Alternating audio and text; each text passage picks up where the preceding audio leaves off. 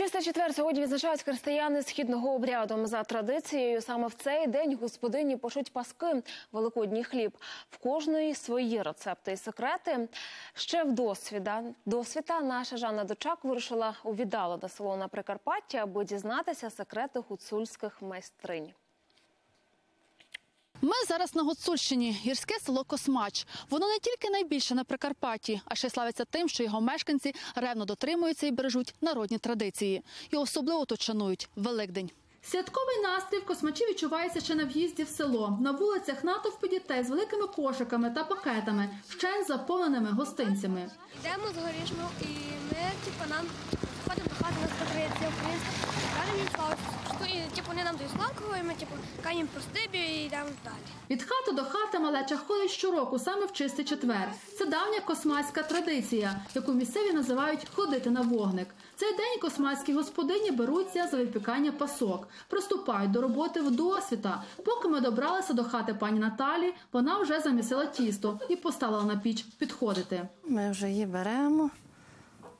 До, отак воно у нас файно підкисло. В тісто пані Наталя додала 25 збитих до легкої пін яєць, тому воно дуже жовте. Далі на теплому молоці розвела дріжджі і додала трохи теплого масла і маргарину. На самім маслі, каже господиня, паска може сісти. Замішуємо, довго треба місити, довго кілкої сили. Чим більше місиш, тим краща паска. Космацьку паску не сплутати з жодною іншою. Вона має бути дуже файно зібрана зверху.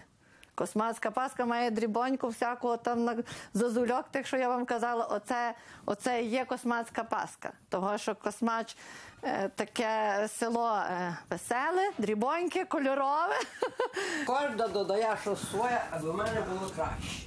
Розклавши тісто у форми, господиня розпалює піч, використовує лише букові дрова, бо дають найбільше жару. Та найбільше часу, каже жінка, потребує оздоблення маленькі фігурки із тіста, якими паску прикрашають зверху. Тож на допомогу покликала свекруху. Це зазульки, треба розсукати тоненько тісто, бо як грубе, то воно дуже виходить така лабата.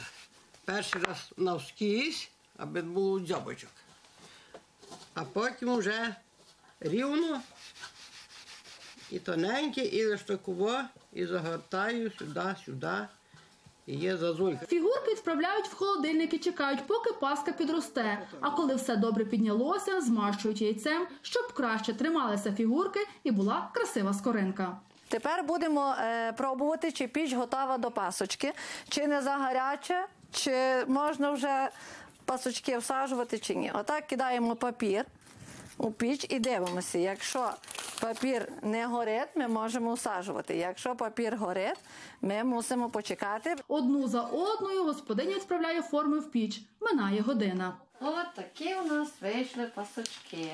Горяни вірять, яка вийде паска, таким буде і рік. Якщо пригорить, треба чекати посухи. Якщо вдасться, як в пані Наталі, то погода буде гарна. Вдосталь і сонця, і дощу. Жанна Дучак, Зноя Автонас, подробиці телеканал Інтер, Івано-Франківська область.